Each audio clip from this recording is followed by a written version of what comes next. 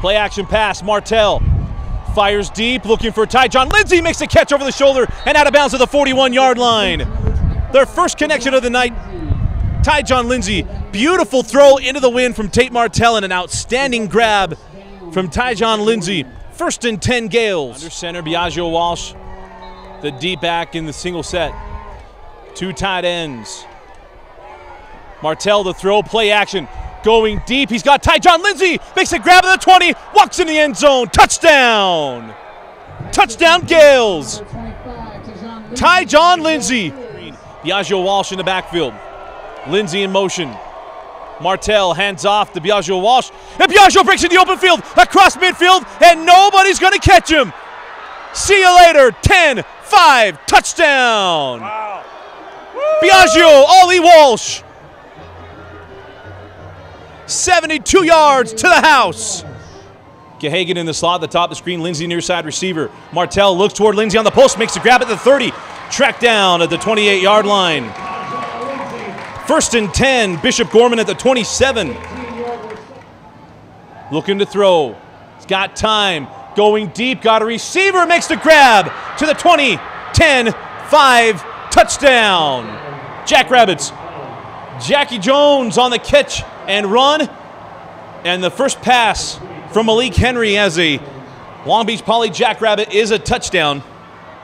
Receiver to each side, two tight ends, and Matua tight alone setback in the ace formation. 6.44 remaining in the fourth quarter.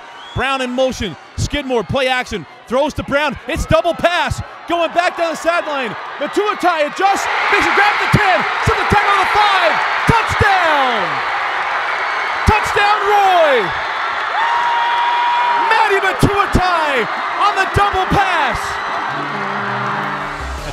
25 points in that tournament. He averaged well over 30 as Jackson hits his first three-point attempt of the night. Jackson goes coast to coast and left hand and in. Jackson a deep three. He's fouled and one. So Frampton up top. Jackson again for three. And Frank Jackson from downtown. Stolen.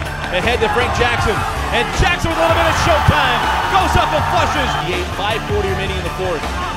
Jackson crossover in the lane. Heart of the hole. Oh, what a throw down. Frank Jackson. Crossover and buries it.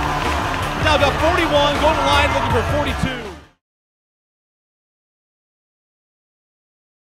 The biggest narrative moving forward for BYU is how to handle Tanner Mangum. How do you keep a young man who just came up from his mission with expectations continuing to grow as he continues to make plays? It's a good problem to have, but it's also a major problem as really expectation levels are going through the roof because of what he's done.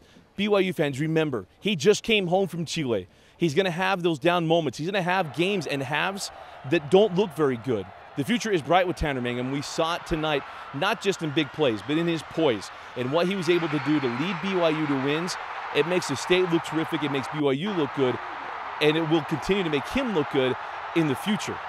But as excited as you might be about Tanner Mangum, you have to temper your expectations. He's going to have major valleys throughout the year. Physically, it's going to take a toll on him. He leaves this game against Boise State at full game. He's going to go on to UCLA. Does get an hour there, but then going to Michigan. Those are big time defenses and hits he's going to take. He took major hits tonight. He's going to take them next week. That's really the nature of the quarterback position. And because of that, he's going to have moments where he's going to struggle. Stay with the young man. Don't let the expectation level get so high that he can never reach it. Allow him to attain it. And I think we're going to see major things from Tanner Mangum. I'm not talking about Heisman trophies or anything else. I'm talking about careers like John Beck, like Max Hall, a lot of wins and wins against major teams, and he's already done it two games in for the BYU Cougars. And this is our week two Cougar rant.